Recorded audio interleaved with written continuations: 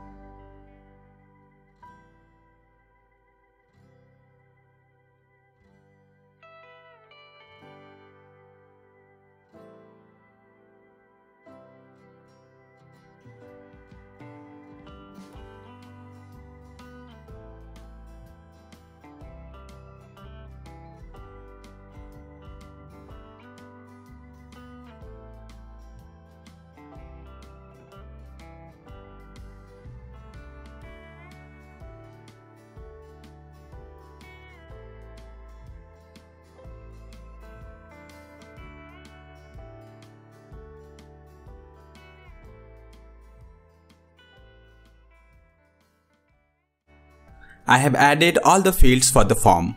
Now I'll click on this publish button. This is the shortcode I need to add on a page to display the form. I'll copy this, I'll go to pages here and I want to display the form on this get a price page. I'll click on this edit with Elementor since the page is built with Elementor. Here I'll add a shortcode and I'll paste the shortcode here.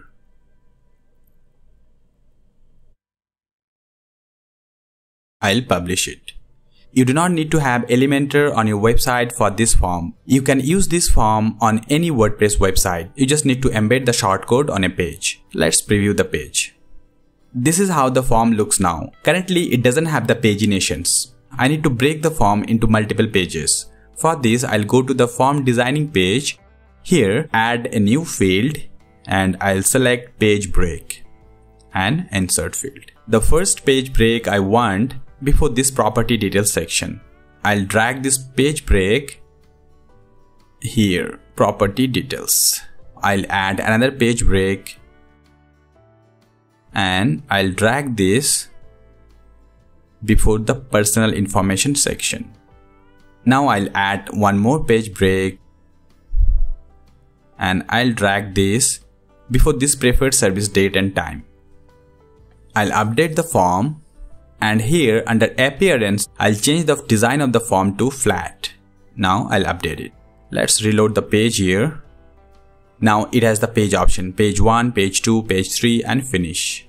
I need to update these options here. I'll go to the form designing page here. I'll go to the fields. At the top, I see this pagination option now. I'll click on the settings and I see the options here. Here for the page 1, I'll add service type and frequency.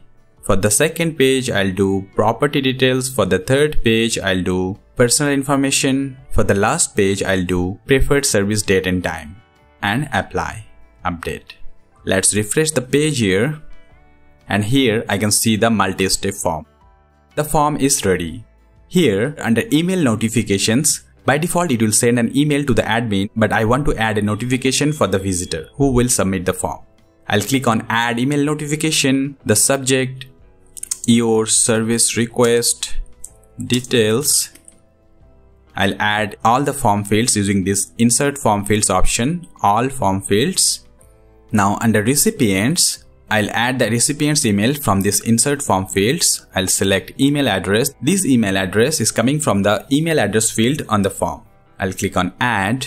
Under settings, you have the option to store the form submission on your WordPress website. You can see all the submission on your dashboard. This option is already turned on. Now I'll update this, refresh the page here. Let's fill this form and see how it works. I'll select the service type to commercial cleaning, one time next, number of rooms 5 number of bathrooms 3.5 the area is 2000 here I'll select bathrooms and kitchen. Here I'll type eco-friendly product. Next I'll type a name here. This is the email. The phone number street